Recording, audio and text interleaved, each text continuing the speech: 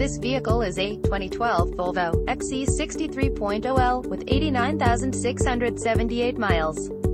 Brought to you by Carquisite LLC. This Volvo is a four-doors vehicle with six cylinders.